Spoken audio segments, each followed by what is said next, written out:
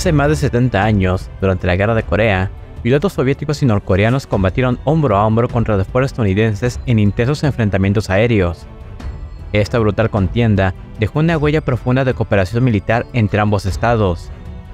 Décadas después, esa alianza se ha reactivado y Rusia, como principal sucesora de la Unión Soviética, ha reforzado nuevamente sus lazos con Corea del Norte, que ahora se traducen en el despliegue potencial de miles de soldados norcoreanos en el frente de batalla ucraniano. El lunes 14 de octubre, Kurt Campbell, subsecretario de Estado de Estados Unidos, sostuvo una reunión con altos mandos de Seúl para discutir el apoyo militar de Corea del Norte a Rusia. Durante el encuentro, Campbell expresó su preocupación por la significativa cantidad de munición artillería y misiles que Pyongyang estaba proporcionando al Kremlin. Al día siguiente, el martes 15 de octubre, Volodymyr Zelensky, en una conferencia en Bruselas, informó a los periodistas que aproximadamente mil soldados norcoreanos ya se encontraban integrados en las filas rusas, mientras que otros 10.000 estaban en camino.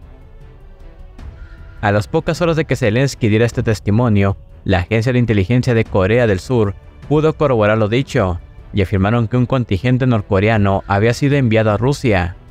Sin embargo, no pudieron corroborar el número total de efectivos a desplegar. Ante el presunto descubrimiento de la nota, algunos medios alegaron que las tropas enviadas al Kremlin son de élite y que se tratan de soldados bien entrenados y capacitados que se pueden desenvolver adecuadamente en esta guerra. Otras fuentes, como Newsweek, Corea del Norte, también han enviado pilotos de combate. Según las fuentes disponibles, las cifras varían, pero la mayoría coinciden que aproximadamente mil soldados norcoreanos han sido desplegados en la región de Kursk, donde actualmente se desarrollan operaciones de asalto que están obligando a las fuerzas ucranianas a retroceder y cerrar el terreno previamente ganado. También se habla de que ya hay tropas ucranianas en el área de Pokrovsk, donde se ha visto ondeando una bandera de Corea del Norte junto a la bandera rusa en Sukurino, aldea recientemente reconquistada por Rusia. Según Tewik, tras una conversación con Andriy Sibija, ministro de Asuntos Exteriores de Ucrania, al menos 1.500 soldados norcoreanos están involucrados en las operaciones en Kursk. Sibija señaló que el estatus de tropas de élite podría ser más un reflejo de la fiabilidad política percibida que de su uso estratégico en combate. Sibija también advierte que la presencia de tropas norcoreanas podría representar una amenaza aún mayor, ya que podría generar tensiones entre Pyongyang y Seúl, aumentando el riesgo de un conflicto directo entre ambos estados como consecuencia de la guerra entre Kiev y el Kremlin. Esta postura es compartida por varios analistas, quienes consideran esta situación una grave violación de una línea roja, razón por la cual Corea del Sur está pensando en enviar un contingente de inteligencia para monitorear a las tropas de Corea del Norte. No obstante, destaca que Occidente ha cruzado esta línea sin mayores consecuencias, ya que, además de mercenarios, tropas oficiales de varios países han participado directamente en operaciones temas enviados a Ucrania, como los misiles Patriot o los tanques alemanes Leopard. Por lo tanto, Occidente no estaría en posición de acusar a Corea del Norte por algo que lleva haciendo desde hace dos años. Por otro lado, The War Zone afirmó que el número real de tropas norcoreanas desplegadas es en realidad de 3.000 efectivos. Esta unidad forma parte del recién formado Batallón Especial Buriato, la cual se creó dentro de la onceava Brigada de Asalto de Transportados separada de Rusia, y la cual está operando en Kursk aunque aún no hay datos que nos digan qué clase de tareas se están llevando a cabo. En cuanto a los 10.000 efectivos adicionales, no se sabe con claridad si ya están en Rusia, y de estarlo, se desconoce por completo dónde actuarán. Pero según Kiev, el 1 de noviembre debemos tener indicios sobre sus movimientos. Esto nos lleva a plantearnos algunas preguntas clave. ¿Por qué? ¿Con qué propósito? ¿Qué pretende Corea del Norte con esta acción? Las respuestas pueden ser múltiples y están influenciadas por diversos factores. Sin embargo, los objetivos específicos de Pyongyang podrían permanecer en incertidumbre. Aún así, es posible especular sobre sus posibles intenciones en este contexto. Dada la posición geopolítica de Corea del Norte, no sería sorprendente que estas tropas hayan sido enviadas con el objetivo de adquirir experiencia en combate y llevar a casa conocimientos que podrían ser cruciales en futuros conflictos, para los cuales varios estados en el mundo ya se están preparando. Esto cobra más sentido si consideramos que, en junio, Rusia aprobó un proyecto de ley que ratifica la asociación estratégica entre Moscú y Pyongyang. Esta ley permite que ambos países se brinden apoyo mutuo de manera relativamente libre en caso de que uno de ellos entre en guerra, facilitando la transferencia de material, equipo y tropas sin restricciones. Gracias a esta ley, Rusia ha logrado acceder a una considerable cantidad de proyectiles de artillería, misiles e incluso piezas de artillería autopropulsada de origen norcoreano. El pasado jueves 17 de octubre se habría revelado un informe ruso que sugiere que Corea del Norte planea transferir, o ya ha transferido, piezas de artillería para la capacitación de las fuerzas rusas, y posiblemente como parte de un intercambio tecnológico. Aunque esta última parte es puramente especulativa, la ley aprobada en junio establece que ambos países pueden intercambiar apoyo a cambio de tecnología y recursos, por lo que no nos sería sorprendente que Rusia ceda parte de su arsenal a cambio de estas piezas norcoreanas. Según el grupo Atesh, conocido por su afinidad con Kiev, las fuerzas ucranianas habrían capturado a un soldado ruso que estaba entrenando a las tropas norcoreanas. En su canal de Telegram, Atesh afirmó que, durante la entrevista con el prisionero ruso, cuyo registro no ha sido encontrado, este aseguró haber participado en el programa de capacitación de los soldados norcoreanos en la Escuela Superior de Mano de Artillería en Saratov, a 500 kilómetros al este de Ucrania. Según el prisionero, también recibió entrenamiento de las tropas norcoreanas para manejar las mencionadas piezas de artillería proporcionadas por Pyongyang.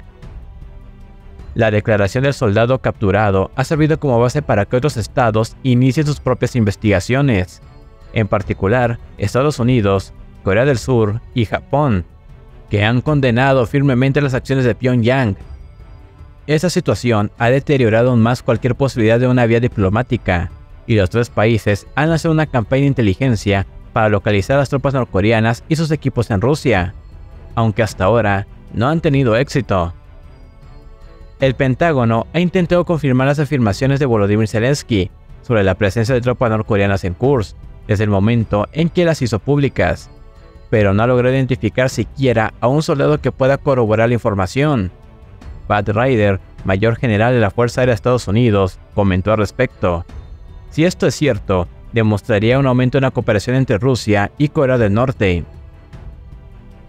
Corea del Sur, por su parte, ha situado al embajador ruso en Seúl, Georgi Sinoviev, para reunirse con el viceministro de Asuntos Exteriores, Kim Hong-kyun, para discutir la situación de las tropas norcoreanas en Rusia.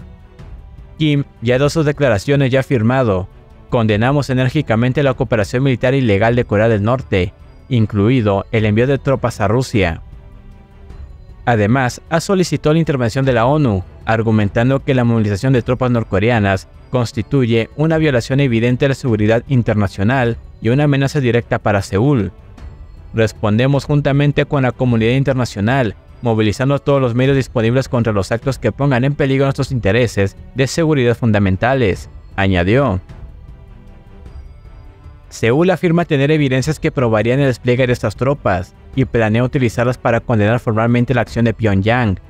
La agencia de inteligencia surcoreana asegura haber obtenido informes que revelan un plan norcoreano para enviar hasta 12.000 soldados a Rusia, incluidos miembros de sus fuerzas especiales. Además, sus satélites captaron imágenes significativas entre el 8 y el 13 de octubre, mostrando un buque llegando al puerto ruso de Vladivostok.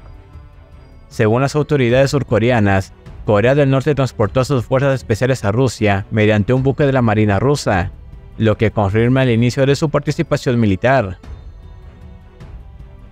El Pentágono revisó sus propias imágenes satelitales y contactó a sus agentes para verificar la información proporcionada por la inteligencia surcoreana pero no logró corroborarla, lo que deja abiertas muchas preguntas sobre quién miente, quién dice la verdad, o si hay algo más oculto tras estos eventos.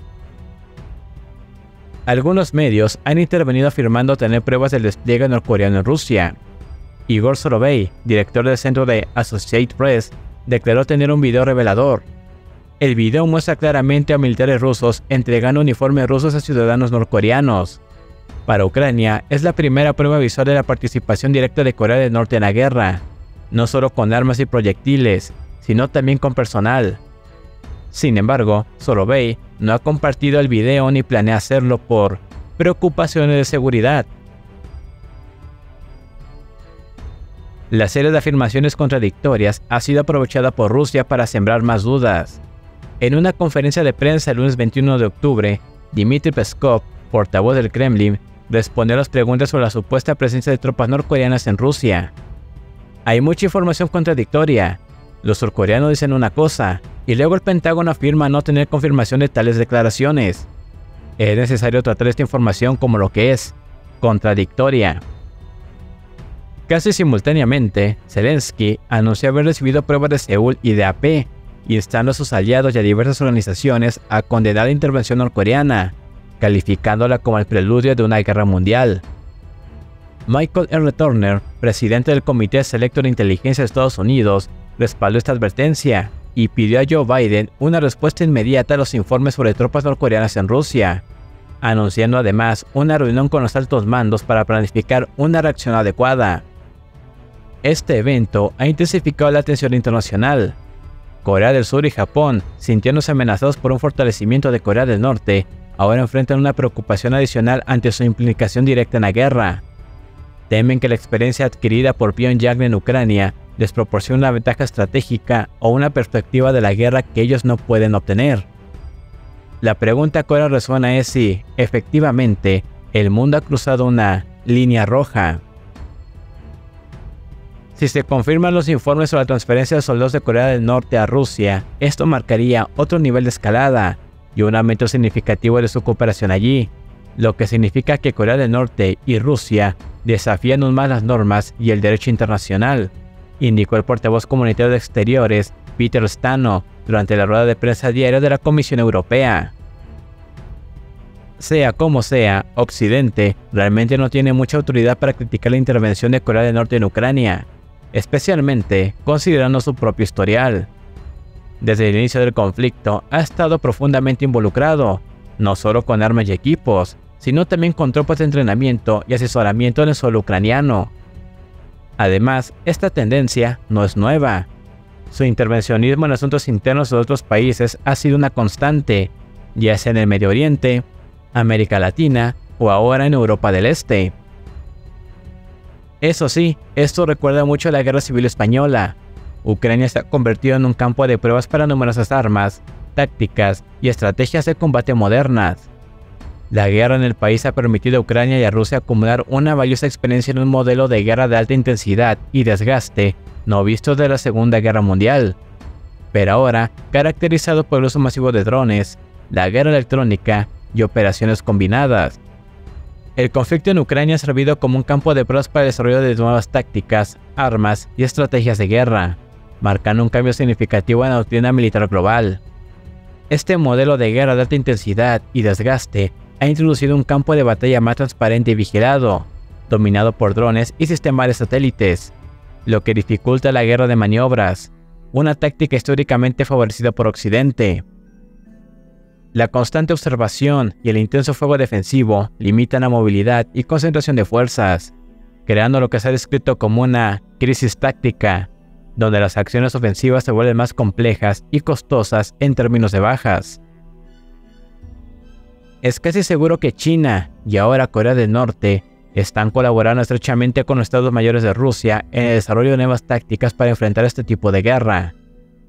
Las lecciones aprendidas en Ucrania no solo impactan la estrategia de combate de Rusia, sino que también se transmiten a sus aliados, quienes buscan adaptar estos métodos a sus propios intereses geopolíticos, ya sea China en Taiwán y Corea del Norte frente a Corea del Sur.